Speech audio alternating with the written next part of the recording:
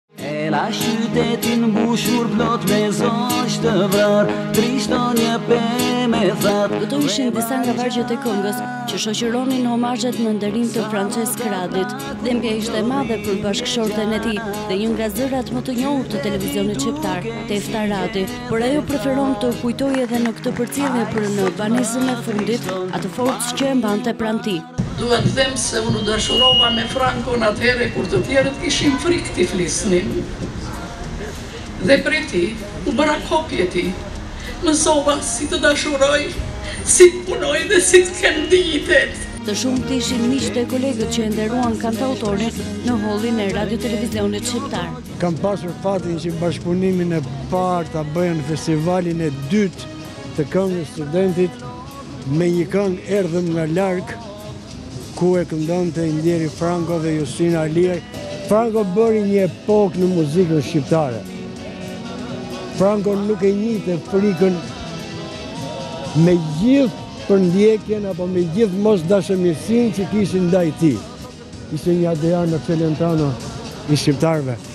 Ka momente shumë të bukura edhe ai më ka lënë kujtimin më të bukur, besoj që do ngelet gjatë gjithë jetës sime.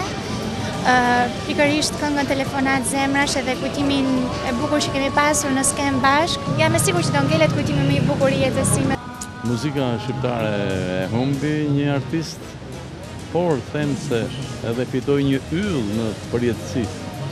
Dashamirës të Radit e përcollën në mesditë, nën tingujt e muzikës së tij e mes duartrokitjesh. Françesk Radi u nda nga jeta një ditë më parë pas rëndimit të gjendjes shëndetësore për shkak të një tromboze.